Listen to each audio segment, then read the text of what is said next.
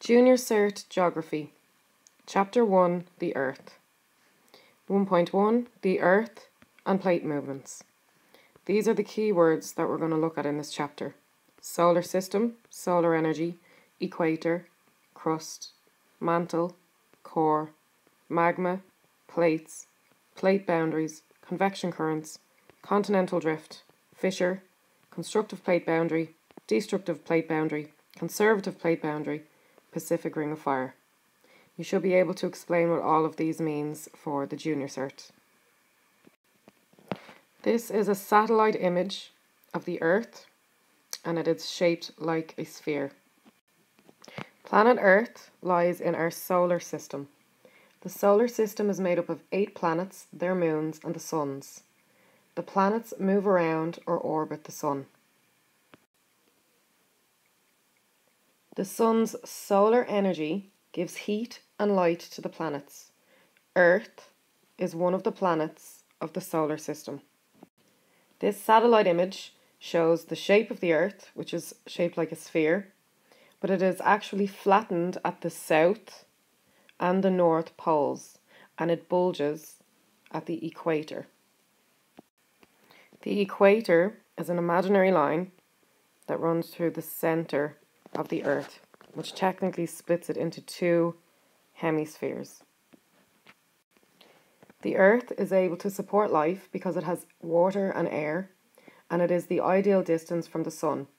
If it were closer to the Sun, it would be too hot. If it was further from the Sun, it would be too cold. The Sun is at the centre of the solar system. This is the Sun over here. And gives heat and light to the planets. The planets of the solar system are Mercury, Venus, Earth, Mars, Jupiter, Saturn, Uranus, and Neptune. The Earth is 150 million kilometers away from the Sun. So it looks like a short distance in the picture, but it's actually 150 million kilometers away. Layers of the Earth. The Earth is made up of three different layers. These layers are the crust, the mantle, and the core. Figure 1.3 shows the layers of the Earth. So the crust is at the centre, the mantle is in the middle, and the crust is around the edge. The crust is the outer layer or skin of the earth. It's made up of solid rock and it is up to 10 kilometers thick underneath the oceans and 60 kilometers thick underneath the continents. The middle layer of the earth is called the mantle. It's made up of molten, which means melted rock, called magma and the temperature that it can reach is 4000 degrees Celsius.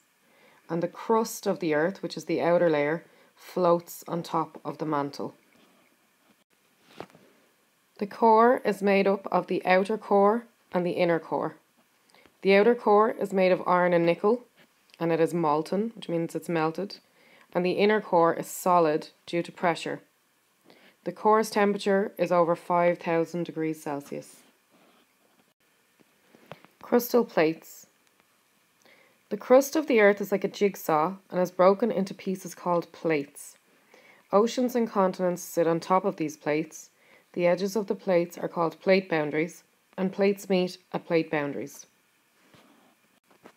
Convection currents. Convection currents in the mantle cause the plates to move. So these arrows in our diagram they represent convection currents. So it's movement inside the mantle. The continents are lying on top of the mantle. They're floating on top of the mantle. And as the mantle moves around due to the convection currents, the plates on top of it also move around. And this movement of plates is known as continental drift. So it is literally the continents drifting away from each other and towards each other. Convection currents are formed in the following way. The heat from the Earth's core causes the magma in the mantle to heat up. So the heat from the Earth's core causes the magma in the mantle to heat up. the hot magma rises up towards the crust. So it moves away from the core, moves out towards the crust. The magma cools as it rises because it's getting further away from the heat of the core. And because it's cooling down, it starts to get heavier. And this causes it to sink back down towards the core. And when it moves back down towards the core, it heats up again and it rises again. So if we have a closer look at our diagram, so the core heats up the magma that's in the mantle. This heat causes the magma to rise outwards away from the core and up towards the crust. When it gets up near the crust, what happens is it actually starts to cool down and it starts to get a bit heavier. So it starts to sink back down towards the core. And the closer it gets to the core, the hotter it gets. So it heats up again and it rises back up, up, up, up towards the crust where it starts to cool down, get heavier, and it sinks back down again towards the core, which heats it up again. It rises, gets towards the crust, cools down, gets heavier, and sinks back down again. And this just continues on and on and on. And likewise, the same will happen over here. And these convection currents, that's what these are known as, convection currents, because they are moving around the magma in the mantle and the plates are floating on top of the mantle, well, if the convection currents move, then the plates also move along with them. And in some places we have plates separating. So we can see that the convection current was moving to the right here and moving to the left here, which means that these two plates are pulling apart. They're separating. And in some places, we have plates colliding. So you can see that this convection current was going to the right, so it's going clockwise, and this convection current was going to the left, it was going anti-clockwise. So these two plates on top of it, they actually were forced to go together, so they collided.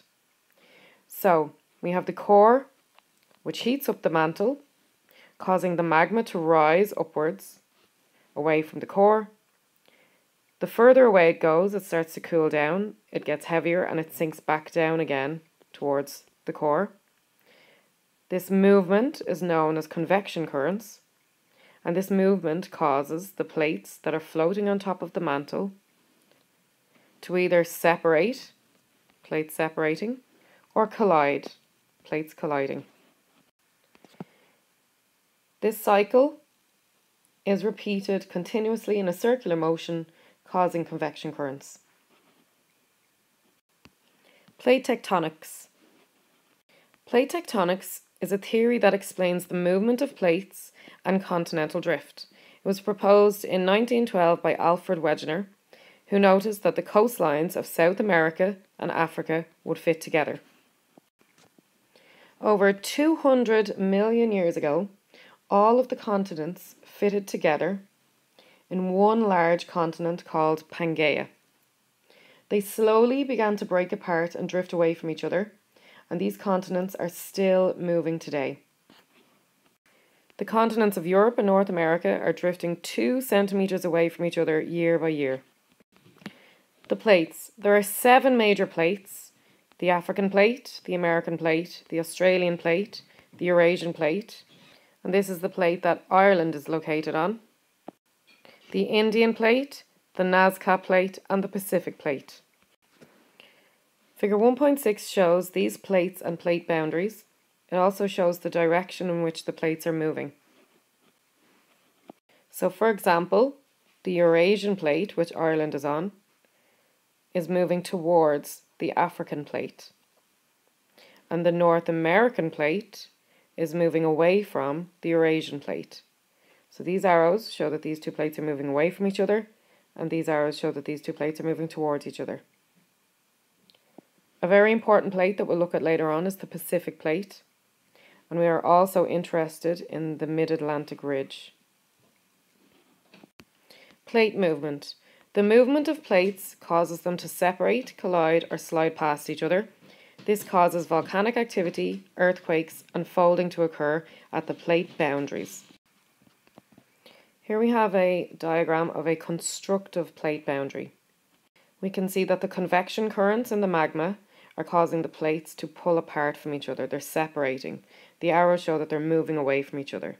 And this is the direction of the separating plates. So when two plates pull apart, they separate and a crack, known as a fissure, is created. This crack allows for the magma from the mantle to rise up through the opening. The magma cools and new crust is formed. Features such as volcanic islands, volcanic mountains, and mid ocean ridges are created as a result. This type of a plate boundary is called a constructive plate boundary because new land is formed. In this diagram, we have an example of a destructive plate boundary. So we can see we have the magma is being moved by the convection currents. And in this example, we can see the plates are moving towards each other. The plates are colliding with each other. And what happens is the heavier plate, which in this case is the one on the right hand side, it gets pulled underneath the other one. So this was the heavier plate and it got pulled underneath the other plate. The heavier plate sinks down into the mantle where it melts and the lighter plate is buckled and folded upwards.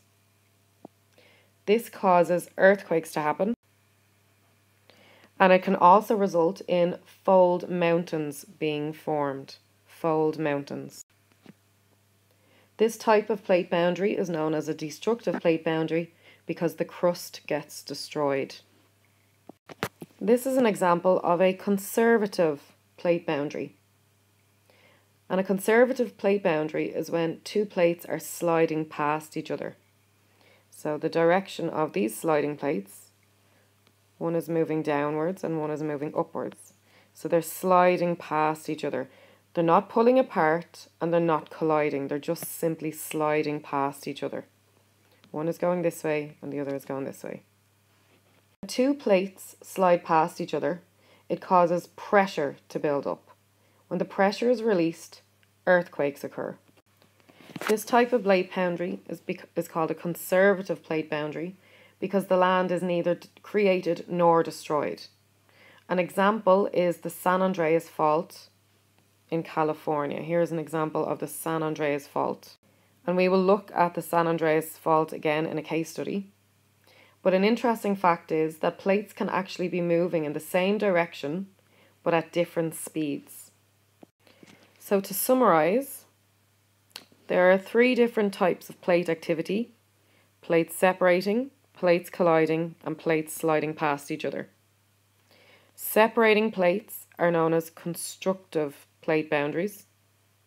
They result in volcanic activity and earthquakes.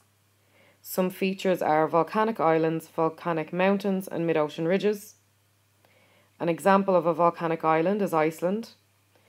An example of a volcanic mountain is Mount St. Helens, and an example of a mid ocean ridge is the Mid Atlantic Ridge. Plates collide at a destructive plate boundary.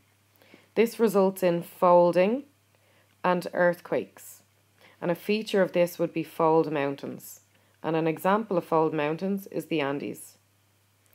And when plates slide past each other, this happens at a conservative plate boundary. This can result in earthquakes. A feature of that would be a fault line, and an example of a fault line is the San Andreas Fault. The Pacific Ring of Fire.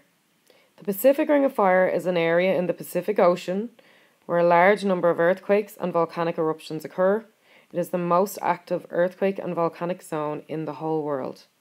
So, this is the Pacific Ocean, and this red line represents the Pacific Ring of Fire. And an example of a volcano along the Pacific Ring of Fire that we're going to study is Mount St. Helens. So it's off the coast of North America.